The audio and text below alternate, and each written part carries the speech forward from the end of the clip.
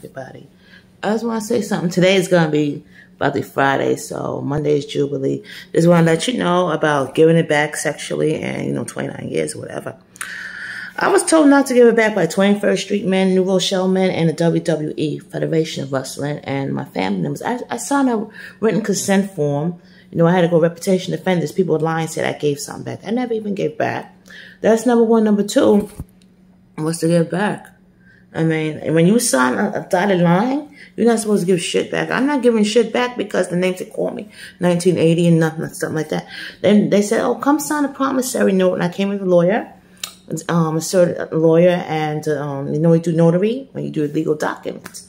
And I, you know, the NS word disrespected me, thinking, shut my trauma here, um, disrespected me, my ancestry, um, Harriet Tubman, my, my kids, um, due to Dipsy. And another thing I'll mention on my birthday, that's happy news of Alana's real father. So, I mean, what should give back? Because I don't give nothing back. Because the names they call me, it should be justifiable. And number two, I signed a paper from 21st Street not to give it back. They made me sign a paper. And, you know, the rest is prom. I promised everybody as a child. Even I wrote a letter because I couldn't take their mouth anymore.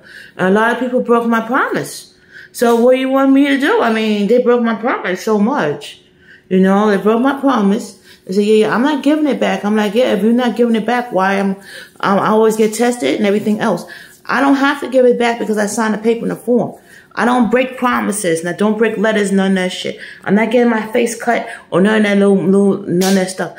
I signed it. I got word from 23rd Street New Rochelle Men, and plus the wrestlers. So I didn't sign it. I really did sign it. Not not sign. I did sign not to give it back.